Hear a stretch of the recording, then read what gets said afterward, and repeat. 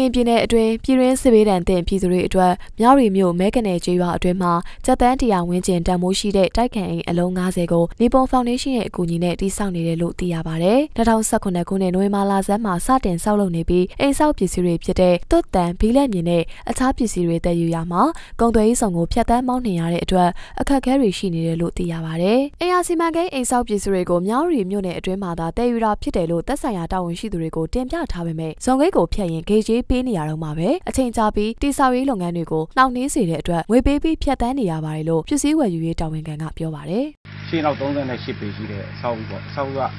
ကျွန်တော်အောက်က RC Foundation တက်လာမယ်။ဟုတ်ကဲ့။အပေါ်မှာကျတော့ Super Structure ကျတော့ကျွန်တော် Steel Structure နဲ့အုပ်ညှက်နေရတဲ့သွားပါမယ်။ပမိုး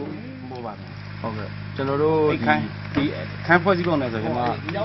Branda ပါမယ်။အဲခန်းပါမယ်။ဟုတ်ကဲ့။အိတ်ခန်းနှစ်ခန်းပါမယ်။သမင်းစားခန်းပါမယ်။ မိဖို့ခန်းပါမယ်။ရေချိုးခန်းအင်တာပါမယ်။နှစ်ရက်နေကျွန်တော်စတာရေရှင်းတာပေါ့။တော်ချင်းတယ်ရေရှင်းတယ်။အဲ့ဒီကျွန်တော်တို့ကဒီစာပေးစင်းတယ်ပေါ့။စာပေးစင်းပြီးတော့ကျွန်တော်အကွက်ရိုက်တယ်။ပနဲ့ပုံစံတွေရိုက်တယ်။အဲ့ဒီနဲ့စပြီးလို့တာအခုဆိုကျွန်တော်ဒီလပိုင်းမှာဆိုကျွန်တော် foundation အားလုံးကပြီးသွားပြီအလုံး90လောက် foundation ပြီးသွားပါပြီကျွန်တော်တို့ဒီ planning တွေပြီးရင်ကျွန်တော် flow လောက်ပြီးအပေါ်တက်ဖို့ပဲရှိတော့တယ်ကျွန်တော်စီမံကိန်းရာထားချက်ကိုကျွန်တော်ပဲအချိန်မှအပြီးလို့တတ်မှတ်ထားတယ် April 14ရက်နေ့အပြီးပေါ့ဟုတ်ကဲ့ အဲ့လိုမျိုးတတ်မှတ်ထားတယ်ပစ္စည်းတွေကလည်းကျွန်တော်ကြိုပြီးဝယ်ယူစုဆောင်းထားတာပေါ့ဒါလို့ဒီဘက်ကို royal လိုက်အဆင်မပြေဘူးဆိုကျွန်တော်၃လပိုင်းမှာလိုအပ်တဲ့ပစ္စည်းအားလုံးကဒီအကုန်ရောက်